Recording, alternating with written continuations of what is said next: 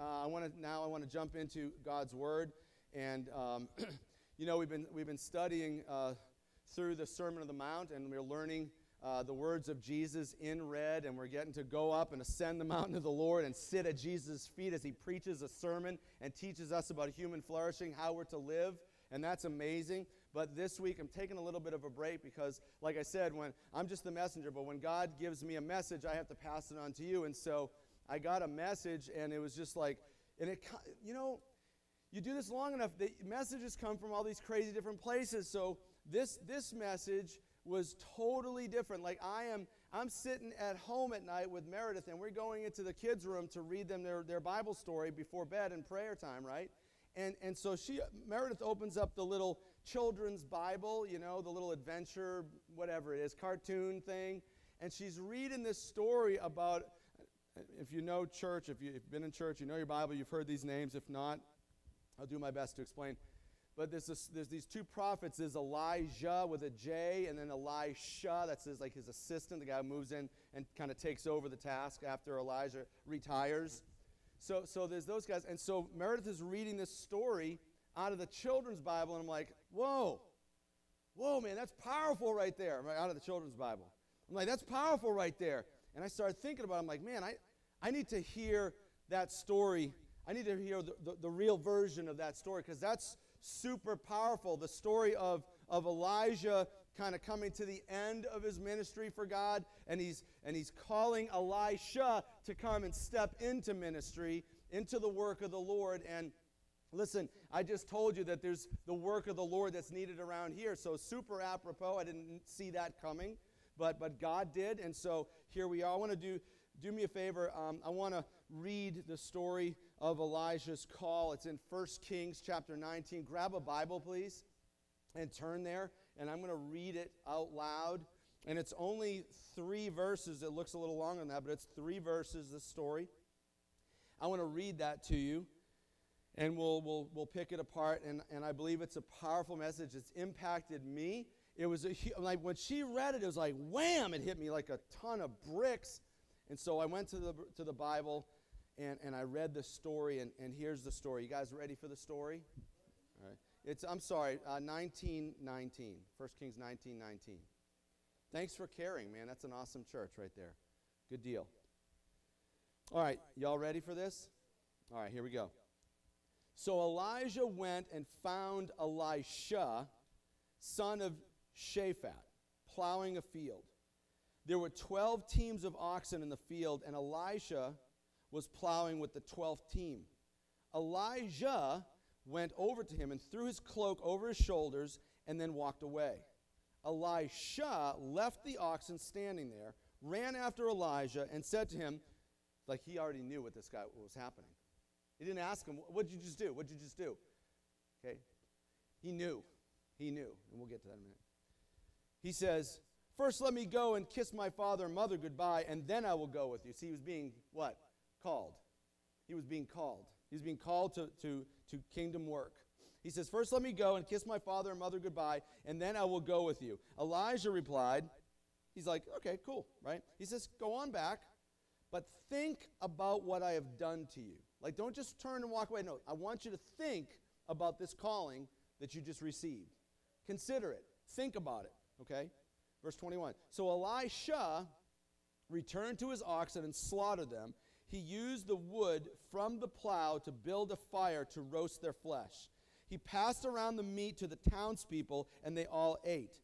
Then he went with Elijah as his assistant. Most translations won't say then he went. It says after the dinner, then he arose and went and ministered with Elijah. So, listen, this is an awesome, powerful story, and it might not have hit you between the eyes yet, but I believe that it will. I believe that it will. But listen, before we dive into the story and pick it apart, you, you have to look at Elisha's resume following this. Because if it's not an impressive calling on display, then it's no reason to follow it, right?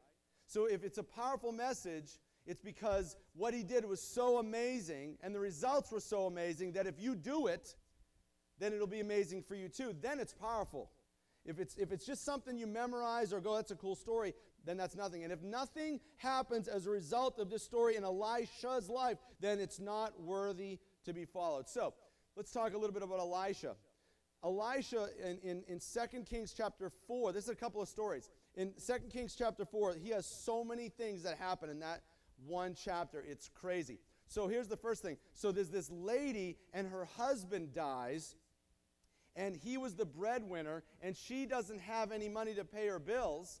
And so she's got some debts, and her kids, right, there, there's nothing there. The debt collector's like, okay, you don't have any money, so I'll come get your kids. And so, the, so, so Elisha goes to the house and says, ma'am, like, what do you have? You know, she doesn't have any money. So she says, well, I have this one little flask of, of oil. And he's like, all right, cool. So, so I want you to do this. I want your kids to go out and get a, bunch of jars, right? I want you to go get a, you have a flask, but I want you to go get a bunch of jars. And, and they're probably not this big, but let's just use an example. A bunch of jars, and, and, and, and don't get a few. Like, go get a bunch of them, right? So they go and they get a bunch. And so what he does is he takes the little flask of oil and he pours it into here. And it keeps pouring until this is full. Like the oil is worth money, right? So, he, so God is supernaturally, through Elisha, producing um, finances for this woman, right? And so she takes it and she fills it up, and this look, there's still oil right there, right? So she grabs another one. And she goes and she grabs the little flask of oil, sorry, and, and she takes it and, and, and, and starts pouring it here, right? And, and it keeps flowing, and it fills this one up. And she puts it aside, and then she grabs another, Right? And this just keeps going. And God, through Elijah, is providing for this woman in a way that, that we, oh, we never expected to. But when that thing happens in your life and you're like, well, I can't believe that he did that. This is what's going on right here for this lady, right? So all of a sudden, they get to the last jar. And it fills to the top. And when they went like this, oh, it's empty. How about that on the last jar? How many people think that if there was more jars, there'd be more oil? Right, right? There would be. So, so, so the only limitation sometimes we put on God is us. But so that's what happens there, right? So God uses him to perform this amazing miracle there with this woman. So there's that. Then in 2 Kings chapter 2, Elisha, I like this. I like this is one of my favorite stories in the Bible. Elisha is a bald prophet. Right? Oh no, he's a bald prophet. And and so what happened and so what happens is it says that there was these kids going down the road. And this in the bald, pro- Robert, love for you, right? Right here, bald prophet, right? And so, so, so, so, the, so the, he's going down the road, and these kids, these little snot-nosed punk kids, right? So they come out, and they're like, "Hey, Baldy, Baldy, get out of here, get out of here, Baldy." He's like, "Oh, really?" So he sa- it says that he put a curse on them, and immediately, immediately, when he cursed them, two bears come running out of the woods and maul all those kids. That's can you do that? That was awesome, right? I love that story. Gives me hope. then there's this woman in 2 Kings chapter 4, great chapter. She wants a baby. She's got no baby. She's growing a little bit old. And her husband um, let's just say he's, not, he's, he's past the time of being actively involved in the creation process. Gotcha, okay? And so she's like, Yeah, I don't have a kid. I don't have a kid. I want a kid. And so Elisha declares the miracle that God is going to give her a child. And a year from now, you're going to have a child. And guess what? A year from now, guess what happens? She has a kid, right? So then the kid grows up. He's working out in the field with his dad and all of a sudden he gets a massive migraine, right? It says it, just read it. Gets this massive migraine. Oh, my head, my head hurts, my head hurts. Kind of passes out. They carry him home. A little while later, he dies. So, so the lady's like, well, what? go get Elisha. He's the one who did this. He's the one who said we we're going to have a kid. Go get him. So they get him. And he comes back, and she's like, why would you do this? Why would you give me a kid only to take him? You know, complaining and moaning, understandably, right? So, so listen, without getting into the details, you can read it. Elijah, through the power of God, he raises the kid from the dead. This is Elisha, right? This guy's awesome, right? This guy's awesome. Later on, there's another story in there in 2 Kings chapter 4. This is an awesome chapter, right? Amazing chapter. It, it, he feeds a 100 people with a little sack of grain and 20 loaves of bread. And there's leftovers, it says. Sound familiar? Jesus, just to make sure nobody outdoes him, he doesn't use 20 loaves of bread. He feeds 5,000 people with five loaves and two fish, just to show everybody who's boss, right? Jesus is boss. But just good stuff here, man. Impressive resume. He gets the call on his life and he goes and he actually serves the Lord and great things happen. Plus, listen, it may, all this stuff made it to the Bible. I mean, do you imagine how much stuff has happened over the time that this stuff was written that didn't make it into the Bible? Great stories, great miracles, great situations, and it never made it to the Bible. I mean, I've had some great stuff in my life. You guys have too. None of that's making it to the Bible, y'all. This stuff made it to the Bible, so it must be super, super impressive, super important. So I think we can all agree that God used this farmer to do great things for sure. And I'm super encouraged by that. I don't know about you, but I'm super encouraged by that, that God uses everyday Joes and Joannes to do great work. He used Elijah, the farmer, Peter, the fisherman, David, the shepherd, right? He's not going to, to Harvard and he's not going to the Trinity evangelical schools and he's trying to get those guys and those girls. No, he goes to the fisherman, he goes to the farmer, he goes to the shepherd, and he calls them to do great work and he wants to do amazing things through their life. But the reason some of us don't get used to do great things, even though we know he calls regular folks like us right here in our church. He calls regular folks, but some of us aren't being used to do great things. And the reason why we don't see God work powerfully in and through our lives, we don't see the change that we crave so bad. And a lot of the times, it's because we didn't do what Elisha did. We didn't burn our bridges. We didn't burn our bridges. That's the title of our message this weekend. Let me tell you what I'm talking about. In our world today, we're told not to burn bridges, right? Isn't that what everyone always says? Don't burn bridges. What are we talking about? Well, we're talking about every single one of us has connections and relationships and occupations and subscriptions and hobbies and relationships. It's just all the things that we're involved with in our lives, right? Some of them are good, some of them are not so good. But we have these, these bridges. What these bridges are, are avenues, access back to these places. So, hey, listen, if you quit the job, make sure you put in your two weeks' notice. Don't tick off the boss because you don't want to burn the bridge, right? Because you might need to go back there someday. You might someday you might be really hurting and you need a job so you want to make sure you don't tick that guy off don't aggravate that lady because if you burn that bridge you'll never go back do you understand if you have a relationship with someone, you don't want to be too offensive and too mean because you don't want to burn a bridge. Because you never know. 10, 15, 20 years later, Joseph, he's in, he's in charge in Egypt, right? And you never know when someone's going to need to have something from you. So you don't want to burn a bridge. You might need something from them, right? And so we're told not to burn our bridges. But bridges aren't physical things like you see in the picture.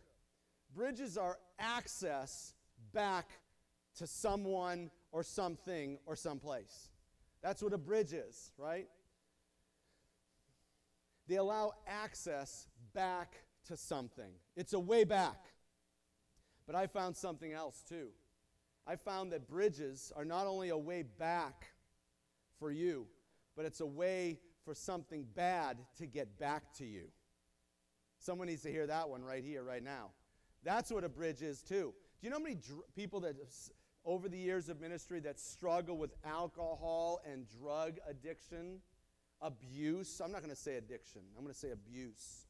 They struggle with that, and you, and you talk to them about it, and they say, Well, you know, I'm trying to do better, but it finds me. Anyone ever hear that?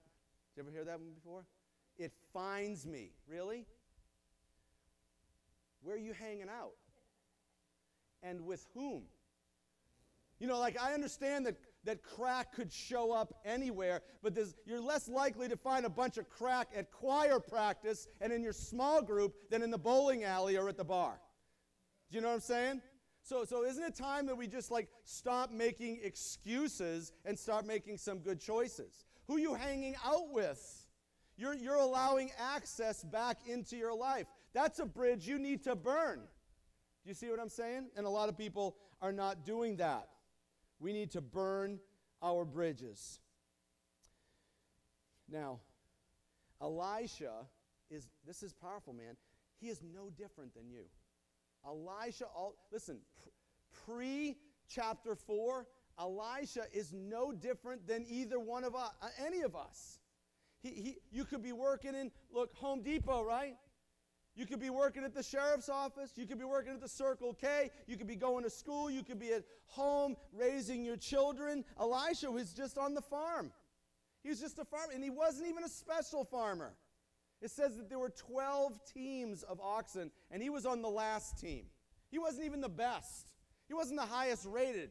He was on the last team on the farm. But he had a calling on his life. God was calling him. When Elijah came put the cloak over that, he knew exactly what was happening. He knew exactly, and Elisha never said a word. Does it say he said a word? He put the cloak over him, and Elisha's like, I know what this is. I'm being called. And, uh, and everyone in this room within the sound of my voice right now. And if you're hearing me on Facebook, you, you hear his voice right now too. You know you've been called, you stubborn thing, and you resist and rebel. And Elisha knew the call, but he didn't. He didn't resist, he didn't rebel. He had a calling on his life. He was being called into kingdom work, away from the life that he was in, and into a new life. And listen up God has called every one of his believers the same exact way. No different between Elisha and you. This should give you great hope.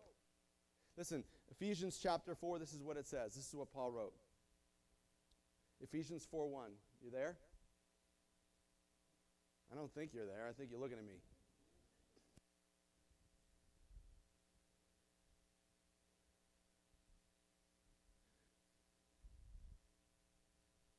Ephesians 4 1. Therefore, I, Paul, he says, I, a prisoner for serving the Lord, beg you to lead a life worthy of your calling. Listen up, for you have been called by God.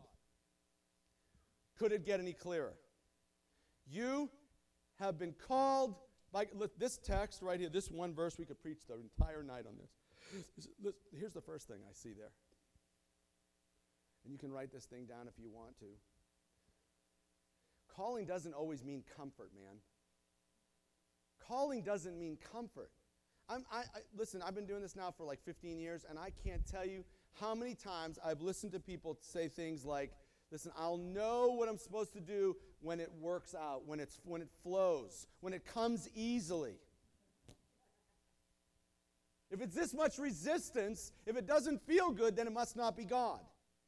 Anyone ever heard that before? Have you said that before? Do you think Paul was comfortable? Do you think it felt good when he was in jail? How do you think those shackles felt on his, on his, on his ankles and on his wrists? Do you think they felt good? Calling doesn't always feel right. See, that's what we're looking. We're looking for a feeling. We're looking for it to feel like this is what God wants me to do. How did it feel for Paul? Like he's following his calling. Hell or high water, I'm going to do what God said to do. And, and, and it's not comfortable. I'm in jail, man. I've been whipped and beaten and put in jail with shackles on. Do you think that felt good? I think we need a lot less feeling and a lot more open it, read it, do it. When God says to do something, that's the call. And when you read something, you just do it. You don't ask, you don't wait for it to feel good. When, it, when you open the, God's Word and you read something that says you should do something or not do something, in this case, burn your bridges. And that's the calling on your life right now, clear from God. It's not something that you wait on, right? He says, I beg you. I beg, listen to the words of Paul. I beg you to lead a life worthy of your calling so there's a life that is representative of a true, authentic Christ follower.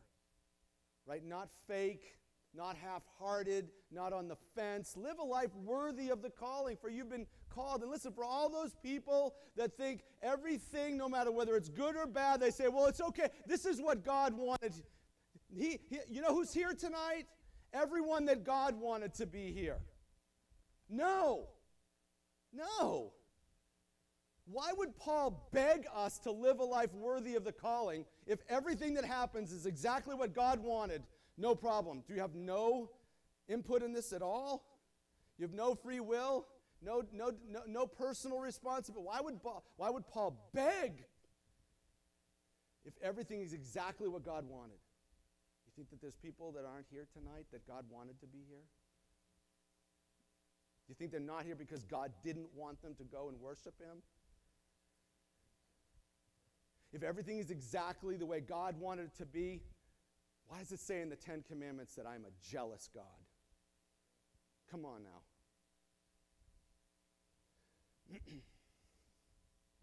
I beg you to live a life. You have been called. Listen, when you're called to be a Christian, you are not just not just saved from something. You're not just saved from yourself, and you're not just saved from your sin, and you're not just saved from hell, although that is awesome. But when you've been called, you're not just saved from something, you're called to something. When, when mom called you at the end of the day from your house, remember? Christian, it's time to come home, right? What does that mean? It means two things. That means leave your buddy's house, right? But also come here. I want you to drop this, what you're doing here, and I want you to come over here, right? That's what being called is. You're not just called from something, you're called to something. You dump one thing, one way of life. When God calls you into his kingdom work, you take your life that you had, whether it was good or bad. I'm not saying it's good or bad. I'm just saying when he calls you to be a Christian, when he calls you to his kingdom to work for him now, you take your old life, you say, okay, that's done. Burn the bridge and do it this way. That's what he says to do. And see, many start strong. They get saved, they come to the altar, they get their first Bible, they start reading, and they start doing stuff for the Lord, but they sputter out in time because they didn't do what Elijah did at the giddy up. Burn the bridge. Burn the bridge from your old life. Burn it. Let's get specific now. Let's talk about what Elijah did. He's a farmer. He's out on the field. He's plowing, right?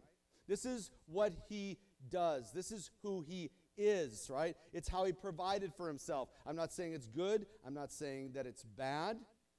I'm not a farmer. I don't know what that's like. I just know that every farmer who ever lived says they get up at four in the morning and milk cows. And I'm not about that. So I'm not a farmer. But he was a farmer. That's who he was. That's what he did. It was just his life. That's what he did. It was his identity. It was his provision. It was his occupation. That's what he was. And then God called. And we're the same. We all have a life. We all have a, a way that we do things and how we do it. It's just who we are, right? All of us have that even right now. And so Elisha gets the call to change his life and to, to, to, to alter what he's going to be doing. And so we, let's look at his response there in verse 21. Well, if you look at the end of 20, Elijah tells him, Hey, listen, I want you to think about this, man. I, I want you to consider the calling. I want you to think about what I've done to you here. Think about this. Don't just make a knee jerk reaction. Don't put it on. Think about this. And so look what he does. Elijah returned to his oxen, slaughtered them, used the wood from the plow to build a fire to roast their flesh. He passed around the meat to the townspeople, and they all ate. And then he arose and went with Elijah as his assistant. So I guess he actually thought about it, right? Uh, Elijah says, Hey, I want you to consider your calling. Think about what I've done. And here's his response He slaughters the oxen, he burns the plow. These are the things that was, that was his whole life, right? He was a farmer. That was his identity, that was his provision, that was his occupation. And he kills the oxen, burns the plow, then he announces his decision publicly. I'm coming out. This is my coming out party. I'm not hiding. Look what he says he does. Does he go back to his parents? No, no, no, no, no. He goes back in town and he takes the oxen and he has a big dinner for everybody. Look what it says. He passed around the meat to the townspeople and they all ate. They had a big old banquet. He celebrated. Listen, this is my coming out party. I'm a Christ follower now. I, have I've changed my life and this is who I am now. Listen, that's why we get baptized. Nobody, any, anybody in here a farmer with, with oxen that they could slaughter and pass it out to us all for a public announcement party? No, so we get baptized, right? We get baptized as a declaration. This is who I am now. I'm not the old person that I used to be. I'm someone new. If anyone's in Christ, the Bible says, they're a new creation. The old has died. Behold, the new person. And he comes out and he says, Listen, this is who I am now, publicly. You know, it's hard to go back on your word when you announce it publicly. That's why a lot of people kind of don't want to say anything about Jesus to their friends because then you can't give anyone the finger anymore. And you don't want to put a revolution sticker on your car because then you can't cuss at people and you can't cut them off. Listen, we're joking. It's kind of funny, but it's so true. Like I've had these conversations with y'all. That's why a lot of people don't put a church sticker on their car because then, right? Because when you when you go public with this thing, it's a lot it's a lot harder to go back, right? Because now this is who I am. It's not a joke anymore. You're not in private. You've come out and you've announced what you are. And then look, he left it all behind. He killed the oxen, he burned the plow, and he left his town. Everything that he was, he was willing to give it up and leave. He burned his bridges. Listen, it's all he did right there was he didn't make it easy to return back to his old life. That's what he did. That's what I'm talking about. And we we are like that all the time. We fall back into our old life and our old ways and our old identity. He, he didn't make it easy to go back to what he used to be. This is the husband who keeps his ex girlfriend's phone numbers just in case. Oh, we're just friends. Bull crap, you are. This is the new wife who keeps her own place still and keeps her own bank account just in case it doesn't work out. I can make it difficult to, to, to not work out. May, may, listen, if it's easy, if it's easy to go back, you'll go back. When divorce isn't on the table anymore, then it's a lot harder to go get one. So we don't want to keep the old. You, you, are you guys tracking with me? We don't keep the apartment. We don't keep the, the ex girlfriend's phone numbers. If we're trying to quit this nasty habit of getting wasted all the time, we don't keep liquor in the cabinet there to tempt us. We don't keep a pack on the dash. And we don't keep hanging around with buddies that practice wickedness all the time, that that's who they are. No. Elijah wasn't that guy. He took his bridges, his access back to his old life, and his all the temptations that could call him back or find him. He took them and he burned them and he left them behind. Do you ever wonder why you always end up in the same old sin? You don't have to raise your hand if you don't want to, but don't we all have like this one thing we just keep stinking doing all the time? God help me with this. God help me with this. God help me with this. God help me with this. You have it? Come on, show me your hands. You don't have to say what it is, but you have it, right? Do you ever wonder why you keep going back there? Is it because God's too weak and he can't help you? No, it's because you didn't burn your bridge. That's why. If you have a problem with porn, take your phone and flush it down the friggin' toilet. If you have a problem with porn, take a hammer and smash the computer into a thousand pieces. Don't tell me that the computer is worth, oh, it's worth $500. Is that worth more than your soul? Do something. Burn the bridge end the problem. Don't make it easy to go back all the time, right? We always go back to the same old sin, the same old practice, the same old life. People that I see it all the time, they get arrested, they get arrested again and again and again and again. People who are taking drugs, they get arrested, they get drugs, drugs, drugs, same thing all the time. Why? Because they didn't burn the bridge. They made an avenue of accessibility back into their life where the enemy could come and find you and hunt you down and roaring lion to devour, and he does. Burn the bridge. That's what we need to do. We need to burn our bridge. Listen, this is this to me, I don't know how you feel. This to me is super powerful, but listen, like any lesson in the Bible, it doesn't matter if you like the story It doesn't matter if you memorize the verses, that means nothing. The only power that comes from the Word of God is when you do the Word of God. Right? When you do what it says. And so we have to burn some bridges. What I learned, this is going to be a short message tonight. What I learned from this story that living up to the calling that you've been called to is two things. One is total obedience.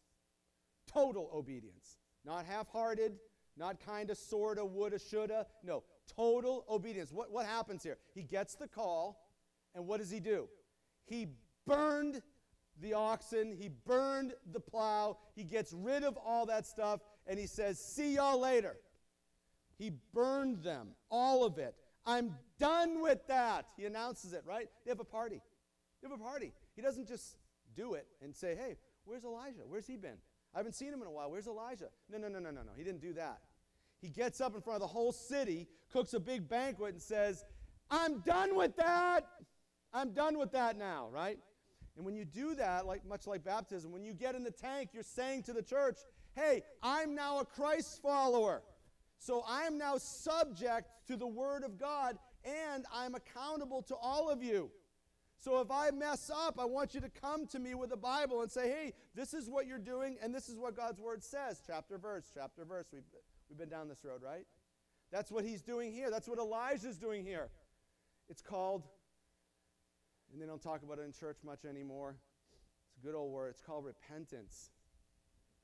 You know, and I think in, in the church, here in America at least, and, and I've seen this, I've experienced this, that the word repentance is, it's just, it's, it's not used properly. Like, it's, we leave it short, like, of its real meaning. And, and often in the church, repentance, you know, you do something wrong, and someone, and with good intentions, say, well, did you repent? Did you repent? Did you tell God you were sorry? See, that's what, that's what it's turned into. It's turned into tell God you're sorry. And although that is part of it, yes, right? It is that. But it's so much more. It's more like the story that we're reading. It's more like what Elijah did. He, he saw what his life was, and he made a decision to dump the old life and start the new life and let everybody know about it. Here's what repentance means it means to change. It means to reconsider. In other words, hey, wait a minute, I used to think that this was okay to do, right? I was doing this all the time. Actually, I was really good at all this bad stuff. And, but now I'm reconsidering. Like the Bible says, not copy the behaviors and customs of this world, but let God change you into a new person by changing the way you think, right? So we reconsider what we think. Hey, I used to think this was good, but now I don't think that is good. Now I think this is good. We go through the definition of repentance it's change, it's reconsider, it's turn. I used to do this, right? But now I'm doing this. It means to think different and to do different. It's, it's, it's this. It's, I've, been, I've been going through my life my, all these years with this, and I've been carrying this around with me. This is my life with all my sin and my bad habits and all my bad relationships and my past failures. And I've been trying to, to live this new life, but I can't because I'm carrying all this junk with me. And I'm trying to live the Christian life, but I also have this stuff and I won't let go. But if we want to do what's right, we have to do like what Elijah said we have to take the stuff and we have to burn it. That's what we need to do. I won't do this. You'll get all wet too. I don't want to ruin the blue. Listen, we have to get rid of all this junk. A lot of us are not moving forward because we can't let go of the past. It's, it's too heavy, and we're trying to do this. But Jesus said, if you want to follow me, you throw that stuff down and you pick up your cross and you follow me. You turn from this stuff over here and you turn to Christ and you follow him. Right? That's what repentance is. Not just saying, oh God, I'm so sorry, please forgive me. No, no, no. You change the way you think. You stop doing this. You burn it. You leave it in the past. And then you pick up your cross and you follow Christ. That's what repentance really is. So you say, I'm done with this. And listen, it's not just total obedience, it's not just that. It's immediate obedience. There's no room in this for, I'll wait till next week okay? That's not the way God works. It says here in the story after he kills the cows and burns the plow and has the party announcing, I'm done with that, then he, listen, he pushed his seat out from the table and he got up and he left with Elijah. You know when it starts? Now. Not waiting till next till tomorrow, not next week, not next month. No, now, right? Not New Year's Eve. We're not like easing into things, no toe in the water, no no scaling back on my sinful old habits. No, all the time right now, no flirting with fire. I'm in, I'm done with that, and now I'm following Jesus. I've changed who I am. That's your decision. Paul said it perfectly in Philippians 3. I really want you to go there, please. Philippians 3 13 and 14. Would you go there?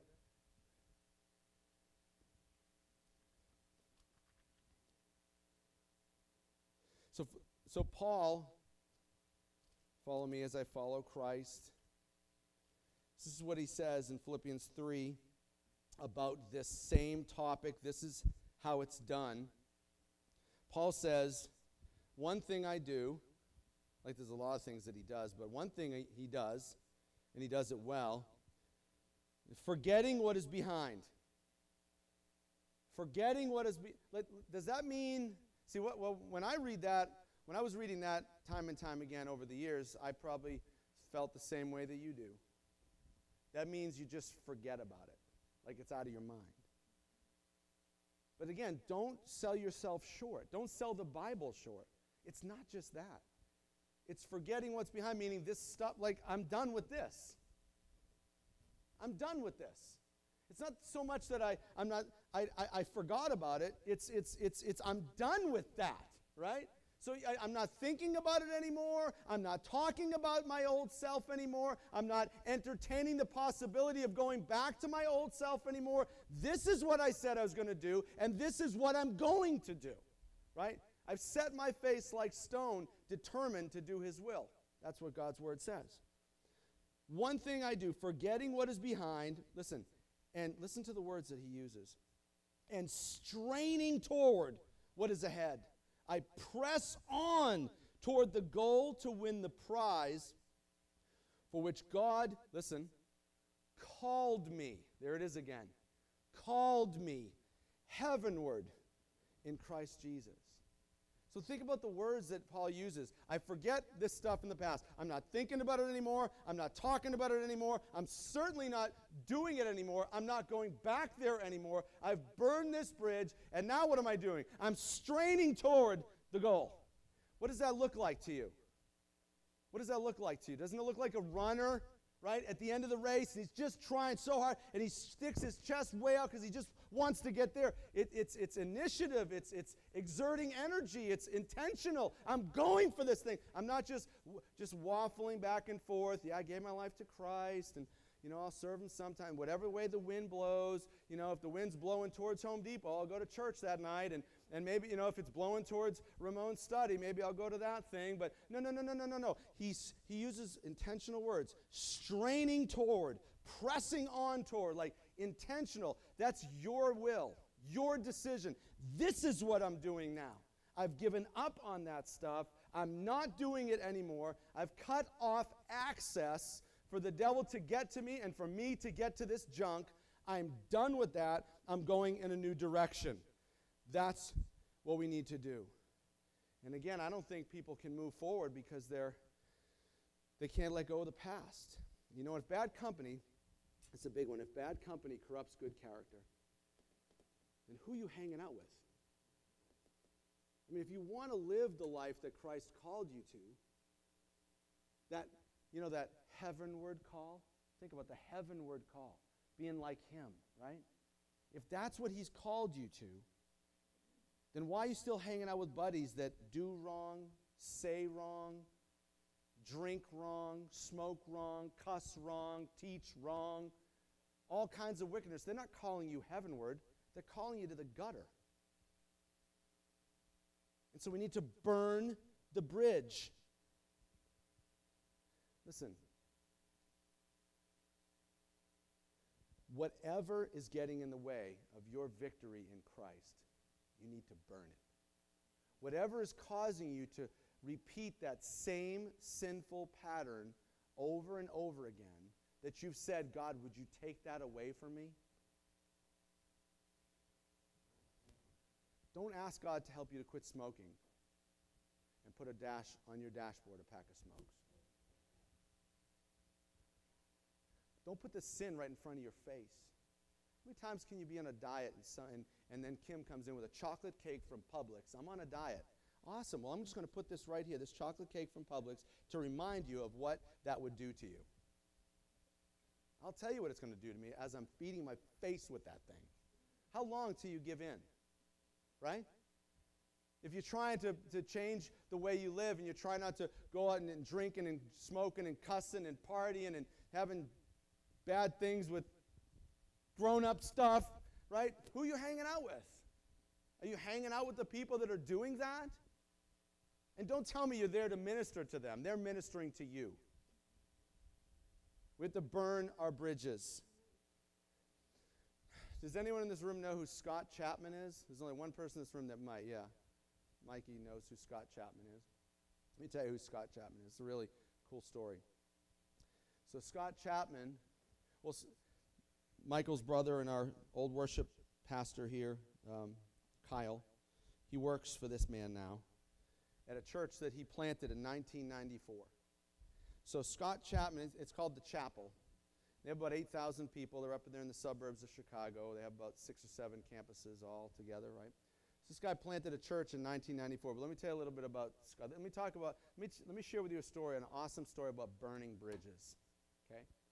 This guy was in medical school. He's a brilliant man, going to medical school to be a doctor. Is that a good cause? Doctors are good, right? Doctors are great. Thank God for doctors, right? We all need doctors. So he's going to, he's going to medical school, and it's going pretty well, except he senses God calling him. Uh oh. Right? Uh oh. So you know what he does? He burned his bridge. He went in for his final. He knew that this is what God wanted him to do to go plant the church. So he went into his final. Teacher handed him, the professor handed him the paper, the test. He went back to his desk. He wrote his name on it and handed it in. He wanted to make sure he got a zero so when he flunked out, he would no longer ever be eligible to be accepted into a medical school again. That's burning a bridge. That's what I'm talking about. That's what we need to do. This burn your bridge mentality, this burn your bridge approach is not exclusive to Elisha. We see it again as we finish up our evening together here. We see it again in Acts chapter 19. Would you turn there, please? Acts chapter 19. We're going to be reading in just a moment a little bit of the story, but just context in 19. This is where um, Paul is in Ephesus. He's preaching boldly for months and says that everyone in Asia Minor they heard the word of the Lord. Must have been pretty big crowds. Um, people are coming to the Lord like crazy. Uh, God gave Paul the power to perform insane miracles, so much so that when his, this is crazy, when his snot rag touched someone, they were healed. Okay? Crazy. But that's the power that God was displaying through this man of, of radical obedience. And so he, he's healing people, he's boldly preaching. And I love this. This, this, is, this is really, really cool before we get to the part we need to study. But there's a story right between what I just told you about with Paul preaching and performing miracles and then the part we're going to read. There's this part where, where there's this demon and he's, he's really nasty. And, and these, these seven sons of Sceva, this guy's name is Sceva, and his sons, they come, they try to cast the demon out, and the demon's like, Yeah, I know Jesus and I know Paul, but like, who are you? And the demon jumps on all seven of them. They're in this house, and he jumps on all of them and beats them so bad that they run out of the house naked. Like, that's when you get beat up real bad, right? How would you like to make the Bible finally, and it's because you got beat up so bad that the demon beat the clothes off of you? That's like a really bad story. But I love the story, it's pretty funny.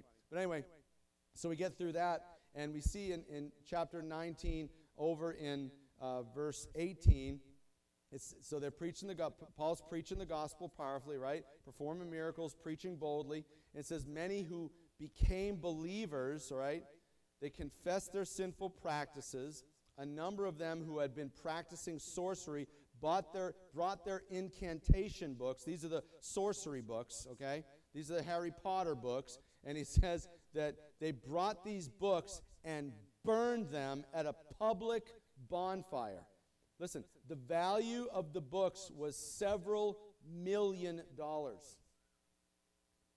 So for the guy, remember a few minutes ago I said if you have a trouble with porn, put a hammer to your, to your computer, put a hammer to your big screen TV, and you're like, oh, I don't want it because it was worth $300. These books were worth millions of dollars. But their, their, their accepting of the call of God was so strong that the money didn't mean anything anymore. It's a priority, it's a value statement, right? What's more important to you? And so it says that they burned them several million dollars worth. And w- watch this. This is this is this is awesome. This now we're talking church here, right? So the message about the Lord, because of this, the message of the Lord spread widely and had a powerful effect. Now listen, is that what we're looking for in our church? We, we want our church, the message of the gospel that comes out of this church, to spread widely and powerfully, right? How do you get that? You get that by burning your bridges, right? That's how you get it. They believed, right? They believed. Come on up here, guys. They believed. They accepted the call, right? And then what did they do?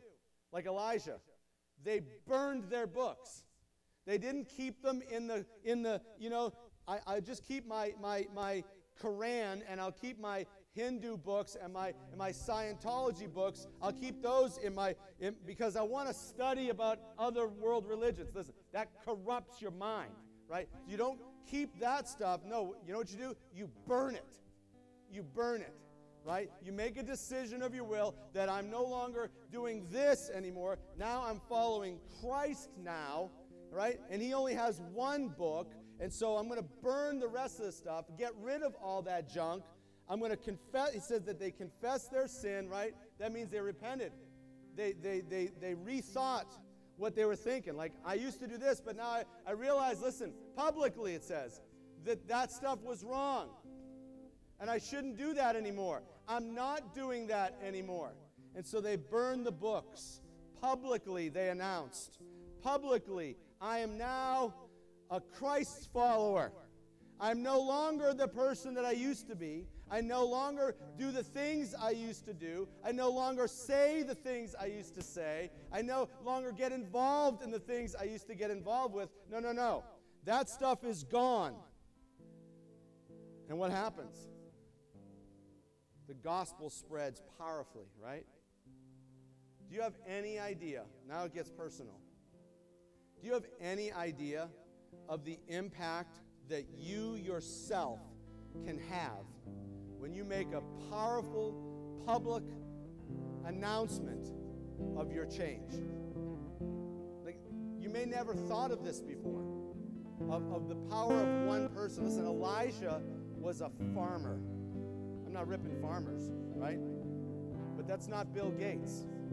That's not the president. That's not LeBron James. He's a farmer. And these guys, these, these just people, listen, unnamed people. People that weren't even named in the Bible. That's how unimportant they were. God's word uses names all through it, doesn't it? But they're not even named. And these unnamed people, unimportant people, made a powerful public profession of their faith in Christ. And what happened as a result? The gospel spread like wildfire, didn't it? You see it there in the text. I didn't make it up, right? I just want to say that I want to do this. I want to make one offer to you. And remember, when I make this offer, remember the value of the books. that were burned. Oh, I can't do that. They're worth a lot of money. They're worth a lot of money. I can't do that. I can't do that. How about Elijah's oxen? How about his plow? That's how he provided for himself, right? That was his identity. That was everything that he had. And he burned it as a public profession of his faith in Christ. Public declaration is powerful. And if you want to be part of spreading the gospel to this world, it's time to burn some bridges.